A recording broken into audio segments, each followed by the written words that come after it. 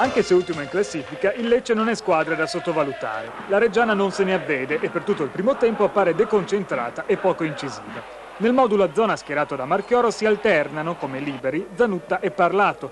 Matteut a centrocampo non riesce a costruire e i tentativi isolati di Scienza e Cherubini trovano l'unica punta, Padovano, spesso sovrastato dai granitici difensori leccesi Ceramicola e Padalino. Morello, per la verità poco lucido, azzarda qualche geometria, ma si intuisce subito che i Granata oggi sono ben lontani da quella filosofia fatta di pressing e raddoppio di marcature tanto invocata dal suo tecnico e che aveva consentito ai Granata di ottenere una prestigiosa vittoria con il Cagliari.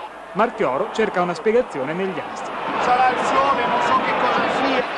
Per tutto il primo tempo il Lecce si difende con dignità senza soffrire eccessivamente, ma senza nemmeno avvicinarsi più di tanto alla porta di Taffarello. La ripresa non porta a cambiamenti tattici significativi se si esclude una maggiore mobilità del Granata Cherubini che si trova a fronteggiare il gioco incrociato delle punte del Baldieri e Russo.